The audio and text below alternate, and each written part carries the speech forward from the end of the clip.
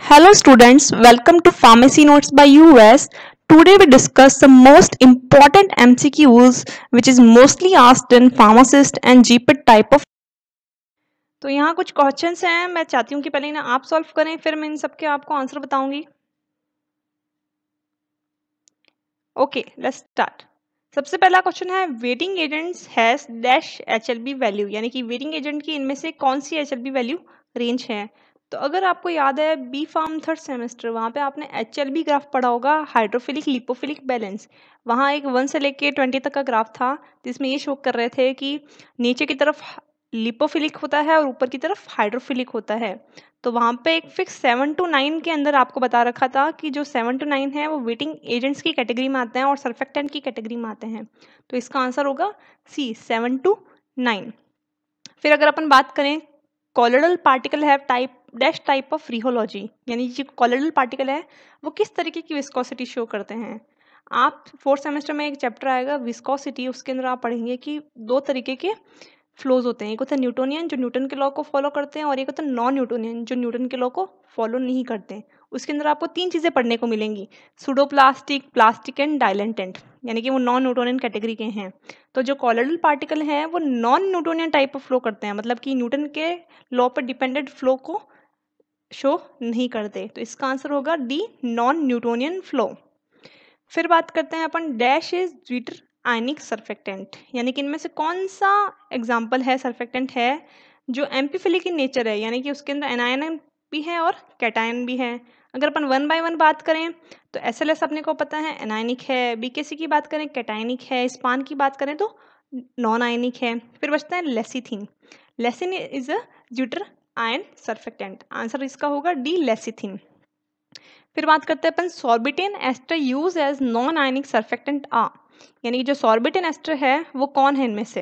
या दूसरा नाम उसका क्या है? तो अगर अपने को याद है तो जो ट्विन था, वो डेरिवेटिव ऑफ़ सॉर्बिटेन एस्टर्स थे, और ये दोनों भी उसी कैटेगरी के हैं। फिर बचता है span span is a sorbitan ester तो आंसर होगा इसका C span question number fifth is RBCs are which type of dispersion यानी कि आरबीसीज कौन सा डिस्पर्शन है? डिस्पर्शन की बात करें, अपने तीन तरीके के डिस्पर्शन पढ़े थे molecular colloidal and coarse molecule के अंदर अपन मॉलिकुलर लेवल की बात की थी लाइक ऑक्सीजन नाइट्रोजन कॉलोडल के अंदर अपन ने बात की थी कि milk type of systems coarse के अंदर अपन ने बात की थी कि जिसके अंदर एक से ज़्यादा टाइप ऑफ़ शेप्स अपने को साइज़ देखने को मिले उसमें अपन ने सस्पेंशन और इमर्शन की बात की थी। तो यहाँ पे भी आरबीसीज की बात भी सेम है कि यानी कि आरबीसीज के अंदर भी क्या है?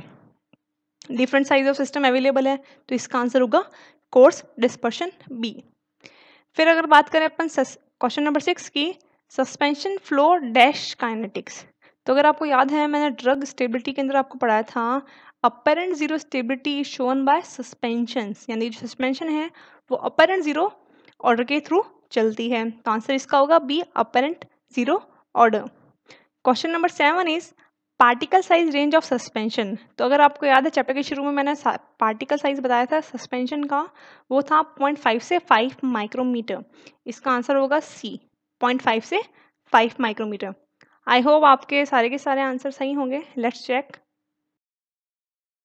Here are the answers 7 to 9 non Newtonian lecithin, span, coarse dispersion viscosity, sorry, apparent zero order 0.5 से 5 माइक्रोमीटर चलो कुछ और क्वेश्चन सॉल्व करते हैं। Eight question is which of the following surfactant also poses antibacterial activity यानी कि इनमें से कौन सा सर्फेक्टेंट है जिसके अंदर एंटी बैक्टीरियल एक्टिविटी भी होती है? तो अगर आपको याद हो तो मैंने आपको एक एग्जांपल दिया था बेंजम क्लोरियम क्लोराइड एंड सेट्रामाइड वो सारे के सारे सर्फेक्टेंट भी थे और एंटी बैक्टीरियल एक्टिविटी भी शो कर रहे थे। तो अगर अपन उसकी स्ट्रक्चर की बात करें तो सारे के सारे क्वाटनरी अमोनियम कंपाउंड से तो इसका आंसर हो जाएगा C quaternary ammonium compound question number nine की बात करें। A solvent sheet is formed around the particle of disperse phase in dash type of colloidal system यानी कि इनमें से कौन सा है जो कि जिसके अराउंड एक शीट क्रिएट हो जाती है? तो इसका आंसर रहेगा lyophilic A question number ten is pseudoplastic flow is typically exhibited by यानी कि सूडोप्लास्टिक फ्लो किसके थ्रू एग्जिबिट होता है। एग्ज़ाम्पल है emulsion suspension ointment and polymer solution तो अगर आपको याद है तो सस्पेंशन के अंदर अपन ने पॉलीमरिक सॉल्यूशंस यूज़ किए थे जो कि non Newtonian type of system को शो कर रहे थे। तो इसका आंसर होगा B polymer solution question number ग्यारह की बात करें।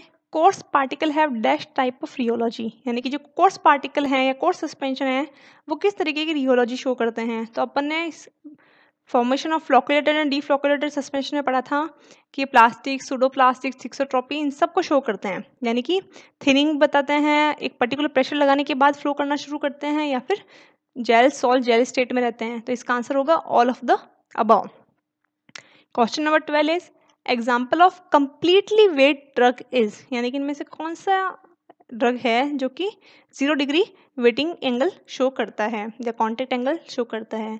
एग्ज़ाम्पल की बात करें sulphur charcoal talc all of the above sulphur और चारकोल का अपने को पता है कि ये वेट नहीं करते फ्लोट करते हैं।